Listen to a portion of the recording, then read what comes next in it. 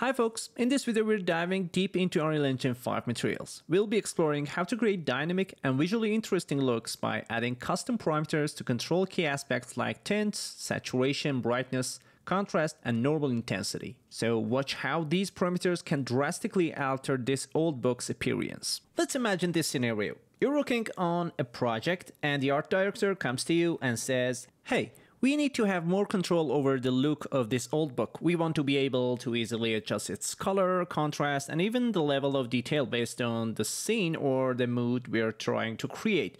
Now, we only have three textures for this book mesh, a base color, a roughness map, and a normal map. How can we achieve this level of control without creating a ton of extra textures? So, to achieve this level of control, we will create a material instance. This allows us to make adjustments to the material without affecting the original. And after that, what I'm going to do is to assign this material instance to the book by simply drag it and release it on the book. Now let's head over to the material editor and first we will add a constant three vector node. This node allows us to define a specific RGB color value. Next, we will multiply this constant three vector with our base color using a multiply node. This node, as the name suggests, multiplies the value of two inputs together. This will effectively tint the base color of our book. Finally, we will convert this constant three vector into a parameter and rename it to tint. This allows us to easily adjust this color value within the material instance. We will set the default value of this parameter to white, I mean 1 and 1 and 1 for RGB so that it doesn't initially affect the base color. So let's switch back to our material instance and tweak the tint parameter.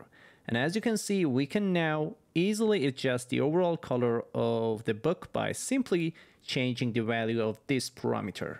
This gives us incredible flexibility and allows us to quickly explore different color variations for our book. Next, I want to add saturation control. So let's head back to our material editor and let's minimize this one. And let's connect the output of our previous multiply node to a desaturation node. This node reduces the color saturation of the material. The desaturation node has a fraction input as you can see. So let's connect a constant one vector node to this input. This vector will control the level of desaturation and if you hold the one key on your keyboard and click on a blank space, it will be created. Again, let's convert this constant vector into a parameter and name it as saturation. We'll set the default value to 1, which results in no desaturation. Now, when we go back to the material instance and try to adjust the saturation parameter, we might notice an unexpected behavior. Decreasing the value actually increases the saturation. So to fix this, I'm going to add a 1 minus node after the saturation parameter. So let's head back to our material editor and search for 1 minus. It's right here. Let's place it here. This node inverts the value, ensuring that decreasing the saturation parameter value actually decreases the saturation of the material. And let's check it. Now it's working perfect. Alright, now it is time to add control for brightness and contrast. After the desaturation node, we will add a multiply node and let's connect a constant one vector to the second input of this multiply node. And by the way, you can simply hold the M button on your keyboard and click on a blank space to add the multiply node. Now this constant one vector will act as our brightness parameter. By adjusting this value, we can increase or decrease the overall brightness of the material. Next, what I'm gonna do is to connect the output of the multiply node to a power node.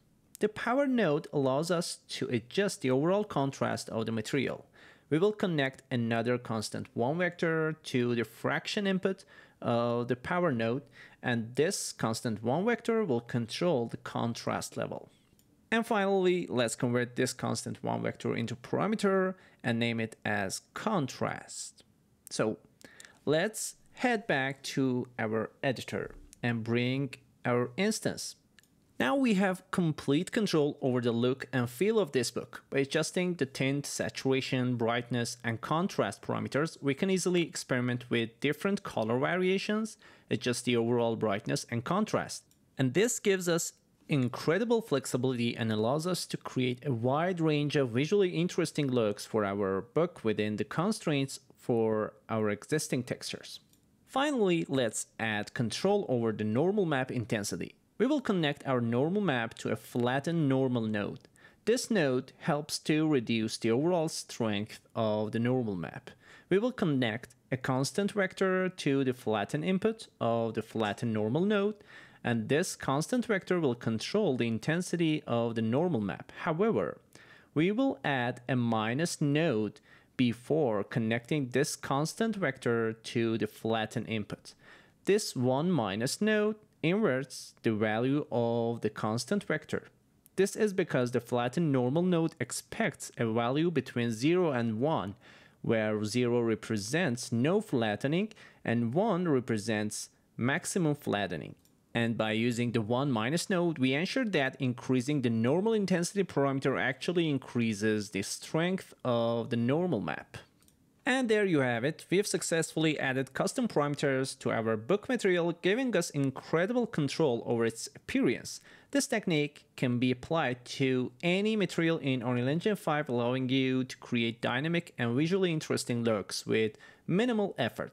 I hope this tutorial has been helpful. If you have any questions, please leave a comment below. Don't forget to like and subscribe for more Unreal Engine 5 tips and tricks. Thanks for watching. I will see you in the next video.